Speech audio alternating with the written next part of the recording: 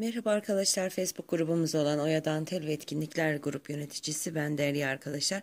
Bugün sizlere böyle hem basit hem pratik hem de hoş olan boyayı göstereceğim arkadaşlar.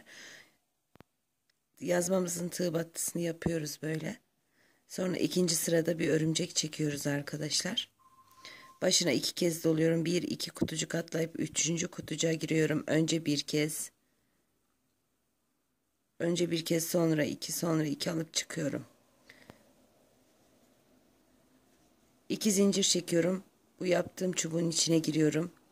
Bir iki iki kere de çıkıyorum. Başına bir kez doluyorum içine giriyorum. Bir iki.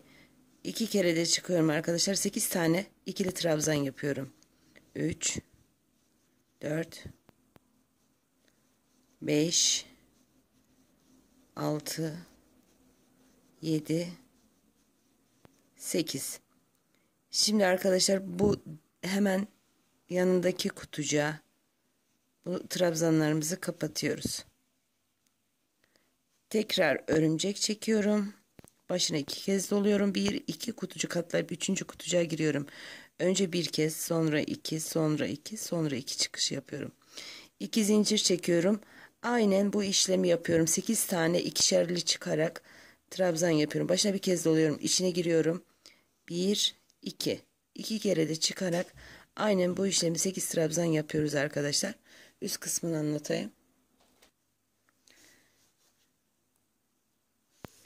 Evet arkadaşlar ben model amaçlı yaptığım için şu an sizlere bunu ben şimdilik 3 tane olarak gösteriyorum. Sizler 5 tane de yapabilirsiniz. Sonra diğer renge geçebilirsiniz. Yazmanızın içinde bulunan renkleri.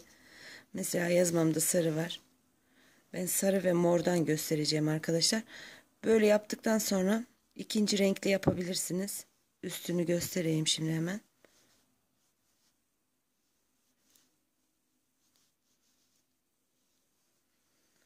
Böyle renk renk yaparak yazmanın içindeki renkleri oluşturursanız güzel olur arkadaşlar. Şu tepeden tutturuyorum ipimi.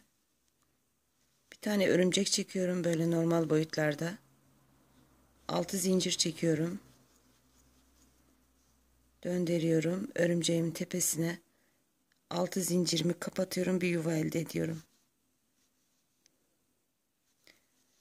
3 zincir çekiyorum. Dönüyorum. Bu yuvanın içine giriyorum. Başına bir kez dolayarak. Yuvanın içine giriyorum. Önce bir kez. Sonra iki. Sonra iki çıkış yapıyorum. 1, 2, 3, 4 zincir çekiyorum.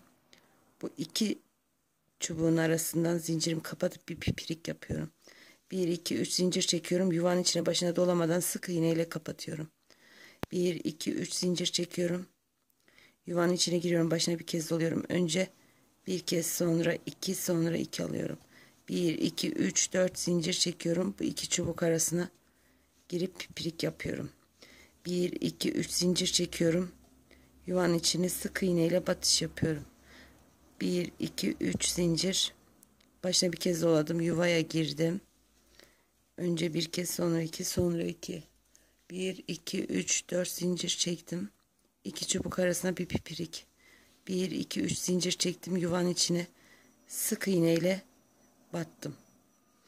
1 2 3 zincir çektim. Başına bir kez doladım yuvaya girdim. Önce bir kez sonra iki sonra iki.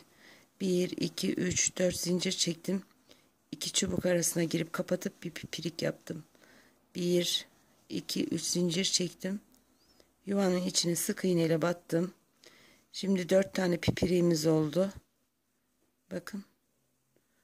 Bir örümcek çektim. Diğer bakın buradaki yeşilin tepesine batıyorum. Tam tepeden kapatıyorum. Tekrar örümcek çekiyorum. Tekrar altı zincir çekip böyle yuva yapıyoruz. Aynı işlemi yapıyoruz. Evet arkadaşlar dediğim gibi ben sadece model amaçlı olduğu için böyle gösterdim. Bakın yazmamın içindeki renkleri kullanarak yaptım. Sizler de öyle yapabilirsiniz. Bunu 1, 2, 3 değil 5 tane bir renk 5 tane bir renk devam edebilirsiniz arkadaşlar. Facebook grubumuz olan Oya Dantel ve Etkinlikler grubuna sizleri de bekleriz. Ayrıca YouTube kanalım Oya ve Dantel Dünyası arkadaşlar. Videonun hemen altında abone ol kısmını tıklayarak abone olabilirsiniz. Hepinize kolay gelsin.